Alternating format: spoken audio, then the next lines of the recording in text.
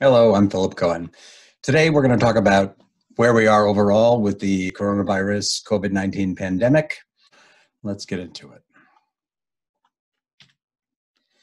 Uh, for our overview, I'm going to talk about the little bit of history and sort of the terms that we're using, um, the global situation, briefly, where the United States fits into that, our particular kind of failure in this uh, pandemic, and then the crises that this has generated, a few different crises that are obviously all overlapping, and then some comments on the future. A pandemic. A pandemic comes from Greek, pan and demos, it's all people. Um, uh, we use it in modern times to mean the worldwide spread of a new disease. Um, this particular pandemic um, was declared by the World Health Organization, the authority for things like this, um, on March 11th of this year, 2020. Um, the way to think about the relationship between a pandemic and an epidemic an epidemic is the spread of disease. Um, uh, our epidemic here in the United States is part of the global pandemic. So we're living in a pandemic, and you can describe the epidemic here and there um, uh, in our situation. There have been a number of pandemics in the past. Here are a few, um, uh, the big ones in the last hundred years, starting with the uh, great so called Spanish flu, the 1918 influenza pandemic, um, probably did not come from Spain. um, about one third of all people in the world were infected during that pandemic, and about 50 million people died, including more than half a million Americans. Remember, the world population was a lot smaller back then. Um, that was a very, uh, obviously, a very bad pandemic. It spread all the way around the world, sort of twice. Um, uh, other flu in, uh, epidemics that became pandemics in 1957 and 1968 killed about 1 million people each, those influenza pandemics. Um, uh, one of those um, viruses is still sort of running around now, um, uh, but not as bad as it used to be. Um, the, we had the precursor to today's coronavirus uh, pandemic was in 2003, the SARS uh, pandemic, which only killed about 800 people, um, but um, but spread very virulently and was um, extremely scary before it was controlled. The much larger uh, swine flu, so-called swine flu or H1N1 uh, pandemic in 2009, um, which killed about 200,000 people. Um, uh, not not as many as we are seeing die this time. We are already up to uh, uh, almost a million people uh, died, and you'll see millions and millions of cases around the world. That's a little bit of context for uh, this pandemic in light of previous ones. Um, we call it coronavirus. Um, th there are a number of coronavirus diseases that affect humans and other species.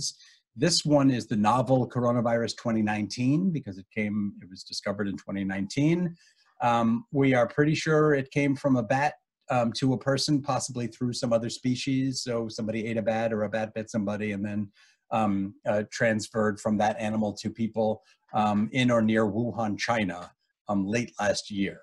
Uh, the virus SARS-CoV-2 causes coronavirus disease, COVID-19. So we can call it coronavirus, we can call it COVID-19, which is the disease, and the virus is SARS-CoV-2. Uh, okay. Um, why is COVID 19 so bad? Why is this epidemic so bad? Well, because it's a novel um, disease, that means we are not immune to it. So, um, as far as we know, nobody was immune to it when this started. Uh, and it's very highly contagious. So, it spreads very easily between people. Um, and uh, all they have to do is interact or be close to each other.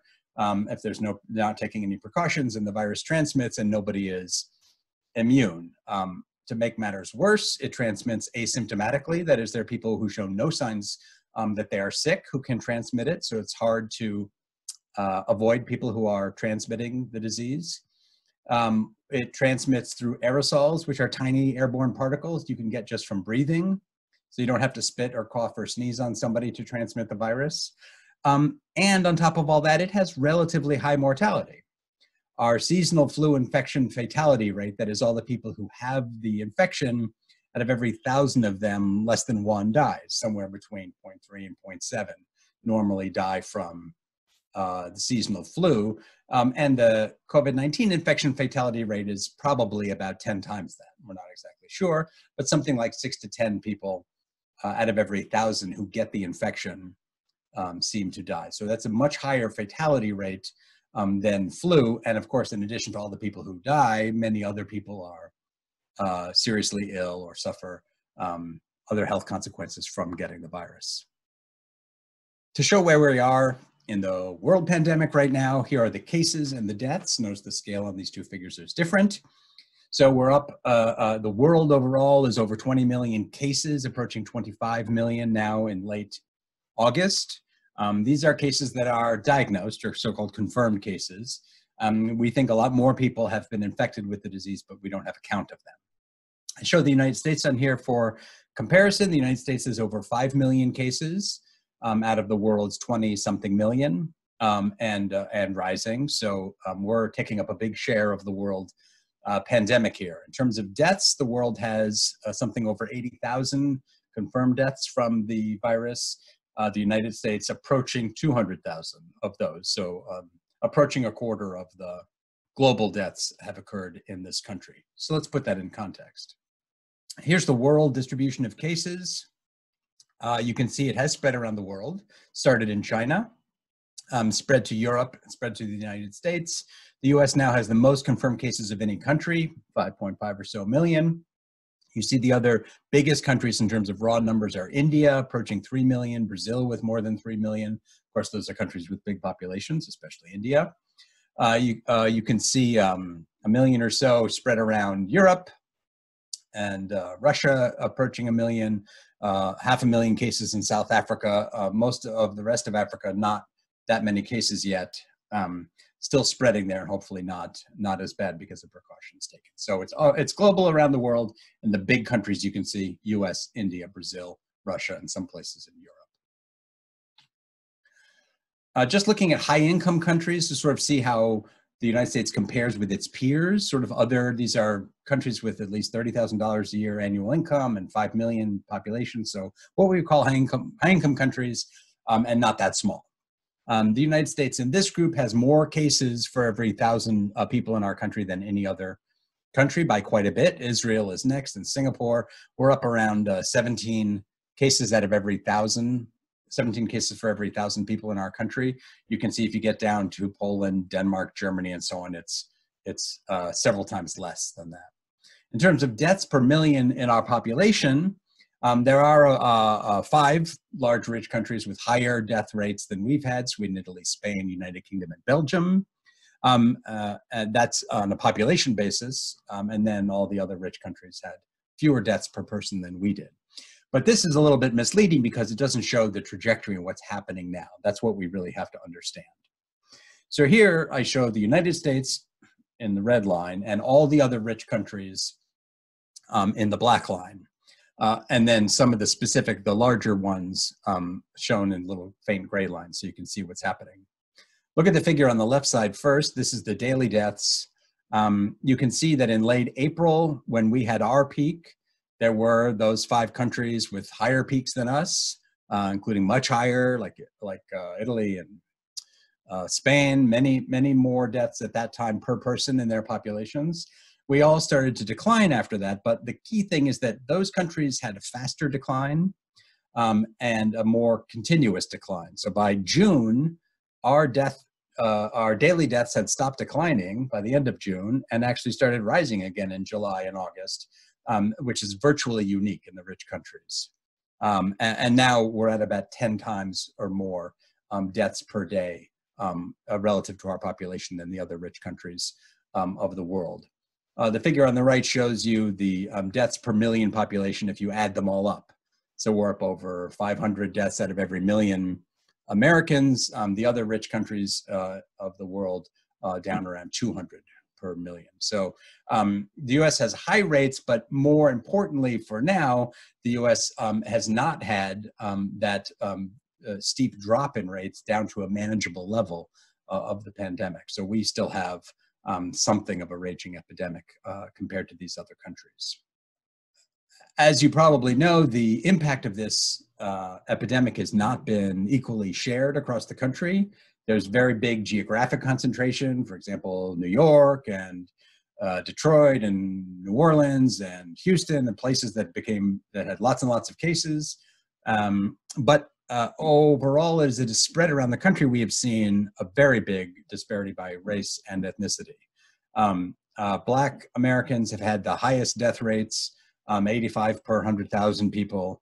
Um, uh, whites, uh, Asians, and Pacific Islanders had the lowest, with Hispanics and American Indians in between. Um, we can talk all about the um, long run and short run causes for this, the discrimination that um, leads to uh, the other things, the uh, inequitable access to healthcare and good healthcare, uh, working in occupations that involve um, frontline or essential services where um, uh, people are interacting with uh, members of the public uh, at work, um, inequalities in income and education and wealth, sort of the resource that people have to deal with or prevent um, a disease like this, and then housing quality and quantity. So the the how crowded and where people live and so on. So all of that together coming together to produce very big uh, disparities by race and ethnicity. Now let's look at more specifically what went wrong in the United States. I'll talk about a few things that Trump did, uh, President Trump.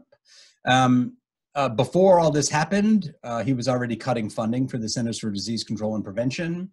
You can see it was uh, uh, up around over seven and a half billion dollars per year uh, two years ago, and already cut down by about a billion for the 2020 budget. Um, so we're already we're cutting down our investment in public health infrastructure, which was not a good idea, as we now know. Um, more specifically, uh, President Trump canceled, uh, closed down the uh, a pandemic office operated by the National Security Council, um, uh, which was supposed to uh, stay on top of and coordinate responses to global um, disease outbreaks. Um, uh, when that happened, uh, there was a very clear message from the Center for Strategic and International Studies here, but many others also. Um, it's unclear who would be in charge at the White House with the NSC not doing this in the case of a pandemic. Um, and that turned to, out to be um, true. Uh, Trump specifically ignored warnings very close to him, um, despite claiming uh, falsely in March that nobody knew there would be a pandemic of this proportion. Nobody's ever seen anything like this before, which, as I just showed you, totally not true. Um, in fact, in his own administration, they were running a functional exercise scenario. They were they were gaming out um, what would happen in the case of a global pandemic um, that came from China, um, and uh, uh, it had all kinds of uh, good information and recommendations that were all ignored. Uh, there were uh, uh, warnings broadcast out through the popular media also. Here's an article by journalist Ed Yong in 2018. The next plague is coming. Is America ready? Um, the US is disturbingly vulnerable, in some respects, becoming quickly more so. Public health programs are low on money. Hospitals are stretched perilously thin. Crucial funding is being slashed. That's 2018. Uh, uh, even uh, Joe Biden, running for president last fall, said we are not prepared for a pandemic. Trump has rolled back progress Obama and I made to strengthen global health security. Um, this was not that much of a surprise. The details are always a surprise, but the fact that this was inevitable at some point and that we were not prepared was known. In addition to those programmatic failures and um, bad budget decisions, um, when the uh, pandemic began and as it spread, um, the president was more uh, concerned with how it made him look than he was with actually dealing with the epidemic. Um, so he said over and over again that things were going fine. They were not going fine.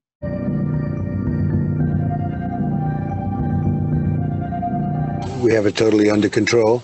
It's one person coming in from China, and we have it under control. It's uh, going to be just fine. And we think we have it very well under control. Uh, we have very little problem in this country at this moment, five. And those people are all recuperating successfully but we're working very closely with China and other countries, and we think it's going to have a very good ending for us. So uh, that I can uh, assure you. Now, the virus that we're talking about having to do, you know, a lot of people think that goes away in April with the heat, as the heat comes in. Uh, typically, that will go away in April. We're in great shape, though. We're, we have 12 cases, 11 cases, and uh, many of them are in good shape now. We have it very much under control in this country. And again, when you have 15 people, and the 15 within a couple of days is going to be down to close to zero, uh, That's a pretty good job we've done. It's going to disappear. One day, it's like a miracle. It will disappear. And we're prepared and we're doing a great job with it. And it will go away. Just stay calm. It will go away. It was obvious at the time that that was all wrong um, and self serving on his part. Um, so let's look at uh, uh, these failures. Um, how, how, let's look at how the failures compounded as the epidemic uh, rolled out across the country. Um, from the very beginning, we did not have enough testing. So we did not know who had the virus and who didn't. That meant we couldn't do contact tracing, which is when you find out someone has the disease and you immediately find out who they've been with and you make all those people stay home um, so they don't spread it. We, you can only do that if you know who has it. We didn't have enough testing from the very beginning. Uh, partly for that reason, we essentially did not contain it. It spread. We didn't do anything to stop travel um, within the country. So there was nothing to stop people from leaving New York and going to New Orleans for Mardi Gras um, and bringing the virus with them, for example. Um, uh, and uh, the numbers got too big. The testing and tracing only works if you if you have low numbers. Um, once we realized, we meaning the federal government, caught up with everybody else and admitted it was a very serious problem. Um, the uh, policy uh, efforts at those at that point were slow and weak. In other words, we never had a very strong lockdown. We never closed everything. We never uh, stopped travel within the country, uh, and so on. Um, when uh, the cases were exploding and uh, case and hospitalizations and deaths were um, out of control, especially in the, the, New York area. There was gross mismanagement of the vital equipment and supplies and uh, professionals needed um, just to handle it. And so more people died than, than should have died, even once they already had the virus. We had um, a whole category of outbreaks in uh, institutional settings in nursing homes and prisons and factories um, that were largely unchecked, especially at the beginning. Um, and then those became uh, epicenters that, from which the disease spread out into their local communities. Um, and the communities where nursing homes and prisons and the meat plants especially are uh, largely low income and minority communities. Um, and repeatedly, like you saw from the Trump clips, but, uh, but much more than just that, um, a mix of happy talk, mixed messages on the advice we were getting, um, a general attitude, a cynical or negative attitude about science and expertise coming from the top, um, a lot of conspiracy theories I'll talk a little bit about, and then this sort of um, useless kind of hero talk. Oh, we're warriors, we're tough, we're strong. Um, that's not how you fight a virus, basically. You fight a virus by acting weak and staying home, um, and we didn't do that. So I'm going to give a, um, just one little case study to show uh, how another country dealt with their um, worse epidemic um, and ended up with a better outcome, uh, a better in a better place now than the United States is. And this is Italy. Uh, you can see Italy had a huge spike in deaths, um, and this is um, per million population. So it's uh, or holding the population size constant between these two countries. Um, a huge spike in deaths uh, in March, about a month before ours um, a steeper and greater rise in Italy. Italy, one of the first countries to have a serious outbreak. Um, it spread all around before we knew what was happening, sort of. Um, and uh, they were just figuring out what to do as they went. But then uh, you can see the very um, steep decline they had ended up much steeper than ours. And now we have more than 10 times the deaths um, ongoing than they do. They're, um, they're getting ready to go back to school. Here I put some lines that show what happened in Italy um, and how they did it, just to give us a sense of the things that we didn't do that help explain why we have so many more cases and deaths at still at this point um, than Italy does. So you see the very first red line there, the first two deaths discovered at the beginning of February. And the first thing they did was lock down a few towns in the north they, with, with uh, checkpoints and barricades, and they wanted to just contain it. It didn't work. It was too late. Um, the virus had already spread out from those um, few towns. And so by early March, they closed down the whole northern region of the country um, uh, and tried to contain it there. And again, they restricted movements, they had police and checkpoints, and um, tried to contain it in that part of the country. Um, uh, within a week or so of that, they closed all schools and all sporting events around the country. Um, uh, and uh, shortly after that, they realized it wasn't enough. They already had cases around the country, and they went into a national lockdown uh, around the second week of March um, their lockdown was much stronger than anything we had. in this country, and that you could not leave the house uh, unless you were going to uh, the doctor, to get necessary supplies, or to go do an essential job. And the police would stop you, and you had to explain what you were doing. We had nothing like that um, in this country. You could not travel between regions of the country. Um, uh, by and large. You couldn't go from one city to another or one state in the country to another. We never had that restriction in this country. Um, and by the time they did this complete economic shutdown um, uh, in, uh, in early March, they shut down all workplaces that were not essential workplaces. Factories were closed. Um, anything that was not an essential workplace um, was shut down. You can see they did that for uh, about five or six weeks, and then they were able to start reopening. Um, the, the deaths were falling, but deaths that we count reflect cases a few weeks earlier. So as they were seeing the great decline in deaths, um, the cases were already falling faster than that. They were able to do some partial reopening. They allowed people to travel within their home states. Um, they opened up some factories to get the economy going. Uh, uh, a few weeks after that, they had further reopening. They allowed most businesses to open with social distancing. Uh, by now, they're wearing masks. They allowed travel only within regions, but still not letting people move all the way around the country. Then by the third week in May, they're opening pools and gyms and other sort of uh, businesses that involve more close physical interaction. And all the way uh, uh, uh out to June, June 15th, they're opening theaters um, and, uh, and they're pretty close to back to normal with distancing, with masks. Um, and now they have a low enough number of cases that they can do testing and tracing, isolate people who get infected, and manage, contain uh, the epidemic. We never reached that level of containment in this country. So um, we never had that level of closure.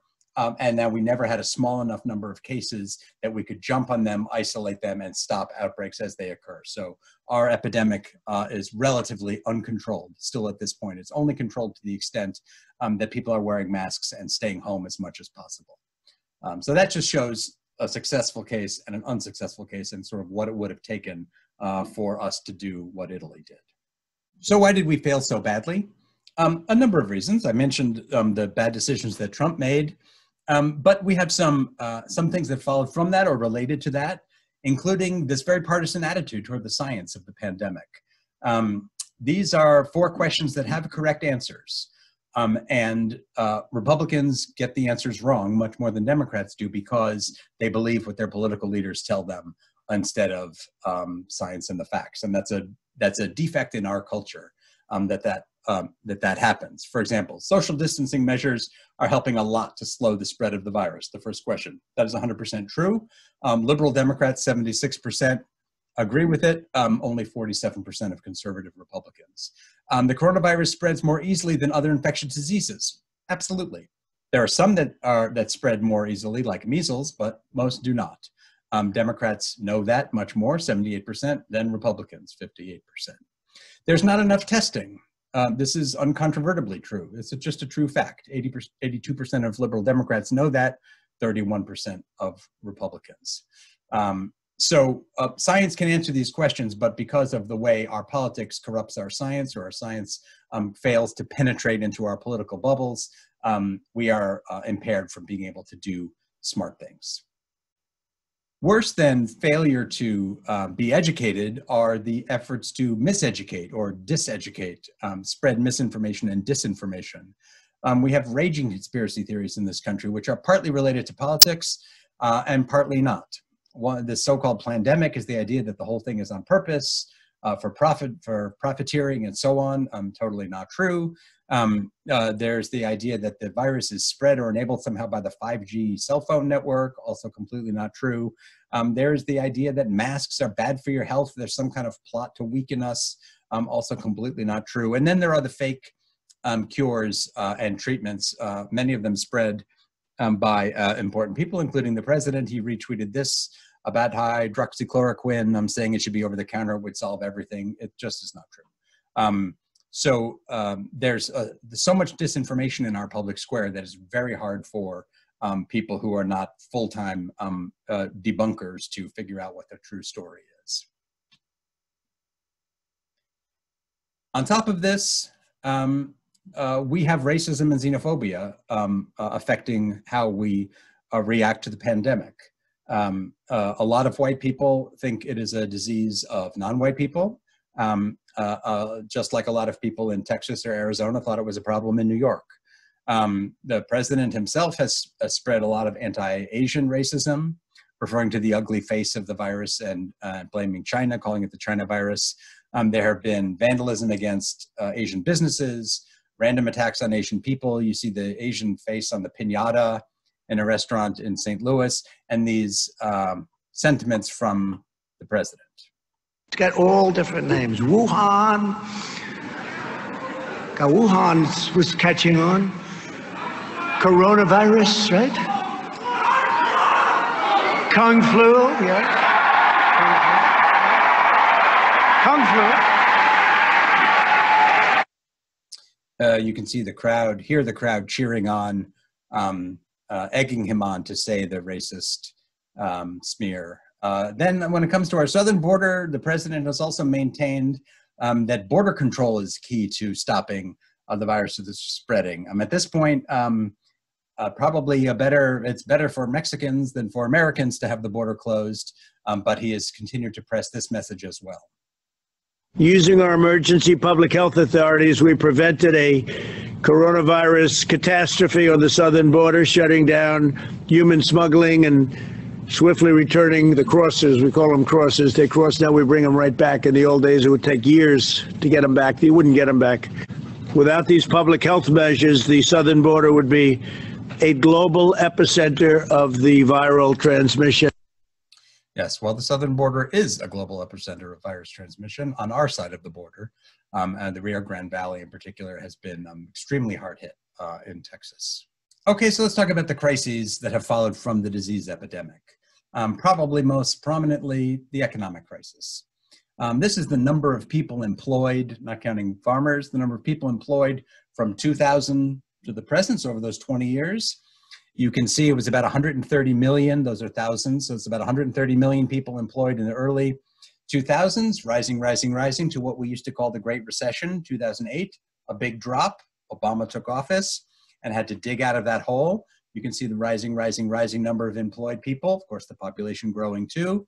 Um, up to over 150 million employed people by the time Trump is in his third year.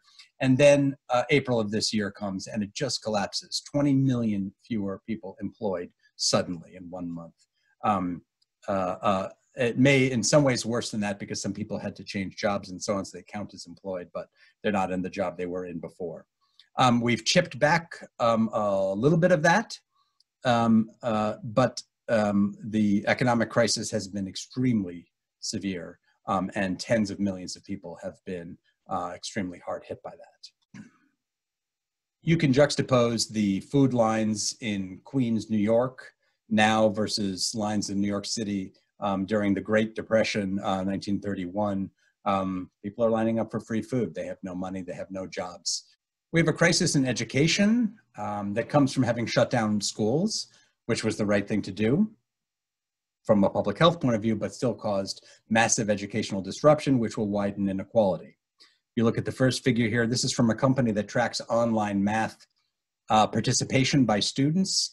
Um, you can see in the higher income zip codes, uh, math participation online dropped about 20% right away in March but it was dropped over 60% in low income zip codes. And then the richer zip codes bounced back, got everybody online and back to work um, by May, but the poor zip codes never did. Um, uh, the second figure shows some estimates of how many months of learning we're going to lose um, if we don't have in-class instruction this fall, which um, we're not going to for a lot of the country. And judging by the estimates of how many people get online, how many people participate, um, they made some educated guesses and estimate that uh, overall we'll lose about seven months of, in, uh, of learning uh, on average, um, but it's more for blacks and Hispanics than for whites and much more for low income students. That's based on the participation rates that, that we're seeing now. So um, uh, an extreme education crisis uh, and one that is widening inequalities. On the other hand, reopening schools um, carries great risks, which are also unequally uh, distributed. Um, uh, as schools have reopened, we've seen um, viral outbreaks um, in colleges also, but I'm thinking here about um, K through 12 schools. And so we have to face the decision of keeping schools closed and harming the education of children versus keeping schools open and having the, the uh, virus spread uncontrolled. Um, the little bar chart up there shows um, the much higher, um, five to eight times higher hospitalization rates um, for Black and Hispanic versus white children, um, just much more likely um, uh, to get coronavirus and get very sick from it than white children. the figure below shows the percentage of seniors who live with a child. So if we open schools, this is who we're putting at risk, and you can see only 4% of white seniors live in a household uh, with a school age child compared with 11% of black seniors and 13 to 19% of people in other groups. So if we open schools, we're putting these older people at greater risk, um, uh, and that's not equally distributed. So there's no good choices. The epidemic has produced a family crisis um, uh, uh in a number of dimensions. One is violence and abuse um, without adequate intervention we don't have great data on this because um, the way we collect data on this is from people leaving their houses and doing things like going to work and going to school and going to the doctor. And a lot of that has not been happening. So, for example, one study found that there were fewer um, visits to the emergency room with um, sort of injuries related to domestic violence, but the injuries there were showing up were more serious. So um, it looks like a lot of people are getting um, are getting injured or, or having abuse happen in their homes but are not making it to the emergency room unless their injuries are very serious. So this is a bad problem. We don't know exactly how bad yet. Um, in terms of families also, we have an unequal gender impact of the shutdowns that we experienced. So that, um, uh, as the figure shows, the group with the most likely to drop out of the labor force from February to April in that key period uh, were women with children in school ages. Um, so um, we have women dropping out of their jobs more than men, uh, uh, doing more of the childcare and housework at home. Although there's also evidence of men sharing um, sharing in that those burdens um, when they are home. So it's going to be interesting how that sorts out. Um, and the care work burdens themselves, um, taking care of children, taking care of elders without a lot of the supports um, that we have in normal times, have made things really hard for a lot of people and a lot of families. So that's something we really have to watch. Um, on top of this, an extreme mental health crisis, and this is very extreme. Um, the stress uh, of fear um, from the pandemic itself, but also the isolation from being alone or living alone, being separated from friends and loved ones, um, the despair simply at all the bad news and all, and the likelihood that bad news will continue, um, and also being separated from services, whether medical or counseling or other services that people need um, to keep their lives in order. Um, this has produced um, a lot of depression, anxiety, uh, suicidal ideation that is thinking about suicide. Just want to pause to say here um, uh, if you are anxious and depressed, if you are thinking about suicide, um, um, you are obviously not alone. A lot of people are. A lot of people are not talking about it. Um, there are the numbers there for you to call and seek help at any time.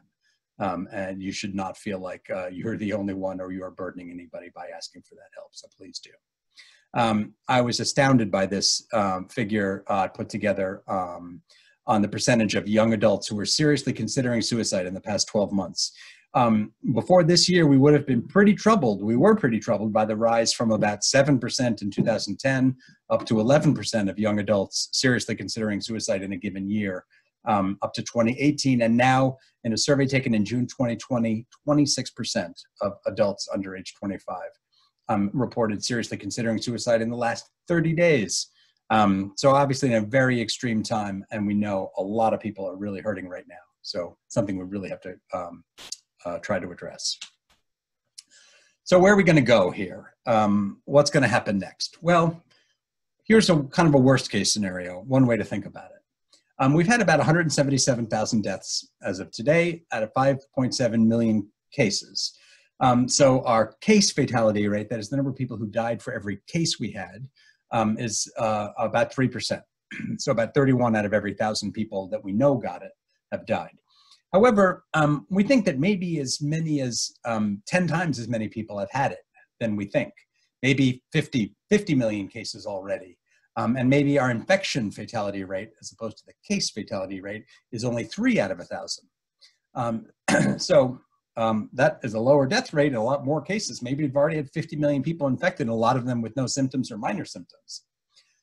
So if you play that through, um, if we do kind of a worst case scenario with those numbers, if we do nothing to stop it, the virus spreads all around.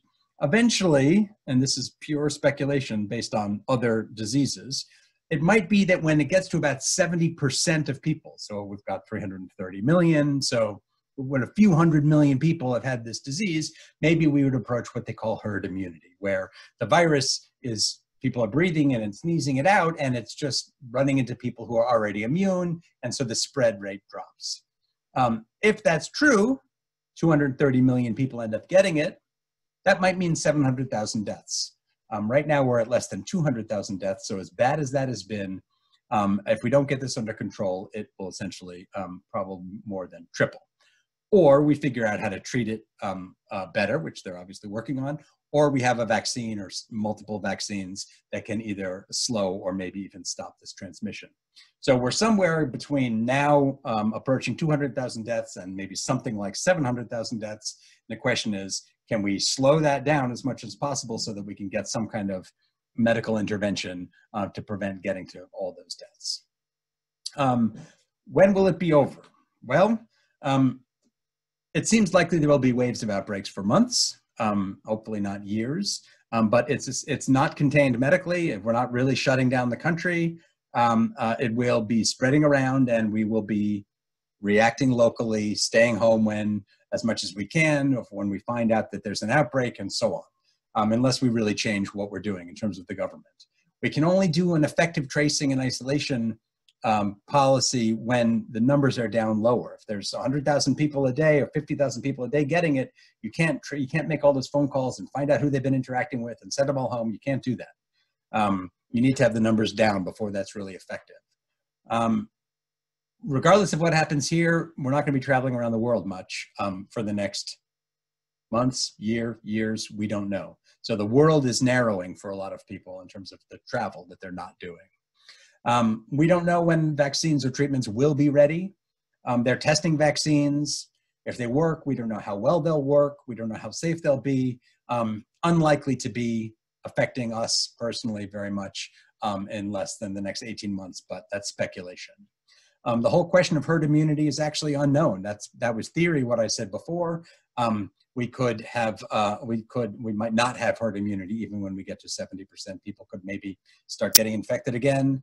We don't know yet. So that's still up in the air. Um, uh, and then how will the world change? Um, that's a big question. That's something that we want to think about um, uh, and try to prepare for as much as possible. Um, so where are you in all of this? Um, well, this is my advice. Follow the public health advice, the real public health advice. Don't jump on the bandwagon of every fad or something you hear, um, but follow the solid public health advice um, from especially your state and local governments. Um, your sociology professor uh, uh, is probably a good source also. Um, if you can stay home, stay home. Um, it's boring. Um, uh, people are very frustrated. People are lonely. Um, uh, it may be impossible to really pull it off, but if you have the choice, if you can, it's just better to stay home. Even if you're not infected, you're not dealing with somebody else who's infected, you're just adding people to the mix. And the fewer people moving around, the better.